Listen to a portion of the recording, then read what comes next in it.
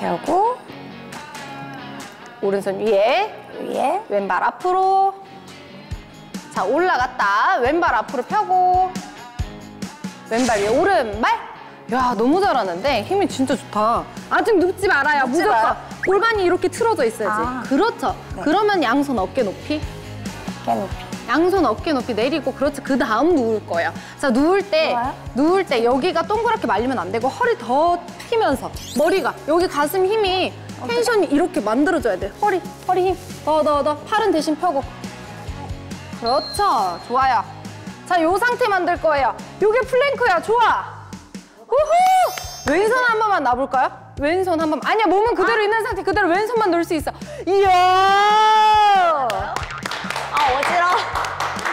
잡고 천천히 다운. Down.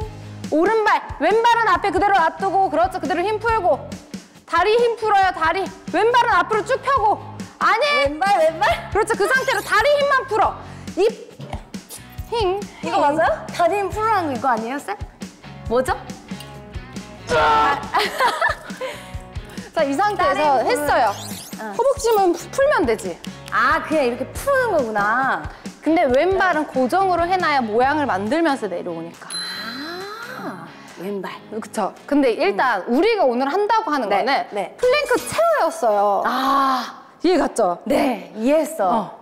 그래서 음. plank를 만들어 놓은 상태에서 다리를 변형을 시키고 누울 거예요. 빠밤. 봐봐. 똑같이. 자, plank를 만들었다. 이 상태에서 이 발 구부리고 오른발은 위로 올라올 거예요.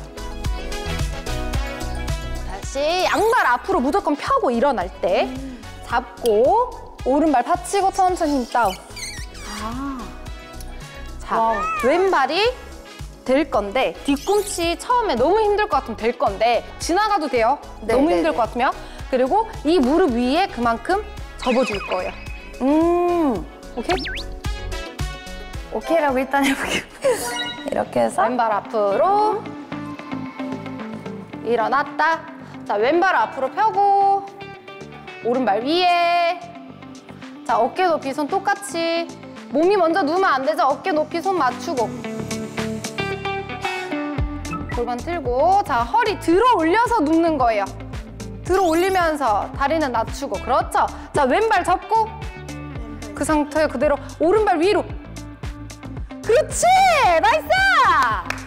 이거 맞나요? 맞아요! 이야! 자! 천천히 양발 펴고 양발 먼저 펴야 된다 그랬죠 무조건 일어나려면 펴고? 펴고 상체가 일어나는 거 상체 일어나고 그렇죠 오른발 뒤로 받치고 오른발 뒤로 받치고 뒤로 뒤로 이렇게 뒤로 받치고, 뒤로 뒤로 뒤로? 뒤로 폴 뒤로. 그렇죠. 힘 풀고. 오른발 무릎 쫙 펴. 아니 오른발. 어, 굉장히 우아했다. 쾅뭐. 자 이렇게 돼 있어요. 네. 했으면 무릎을 피면 되잖아. 내려올 때 어떻게 하는 무릎을 거야? 펴 무릎을. 아 무릎을 그냥 펴. 그 내려오는 오. 근데 이 접은 상태에서 힘을 풀려고 하니까 이렇게 떨어져. 그래서 내가 이렇게 주사 무릎만 펴면 돼요. 음. 야. 쌤. 진짜 신기한데? 잘한다. 신기한데요 쌤? 음, 어려운데 이게 뭔가 근데 생각보다 안 아픈데요? 괜찮죠? 네네네. 왜냐면 hold 부분만 제대로 알면 그리고 아픈 것도 사람마다 좀 차이점은 있지만 네. 지금은 약간 가영 씨가 body에 힘을 잘 써요 쌤 칭찬받으니까 또 happy해졌어요. 올라가는 것도 중요하긴 한데 내려올 때 잘 내려와야 되는데 힘 조절 안 돼서 푹 떨어지는 사람들도 있거든요. 그거 진짜 그 마지막 다 했으니까 내려와 알아서. 그래도 다치면 누가 책임져? 그러니까 끝까지 하는데 사람들이 그거를 우리가 없을 때도 계속 이거는 이렇게 해야 된다라는 거를 초보자들이니까 더 많이 경각심을 주긴 하죠.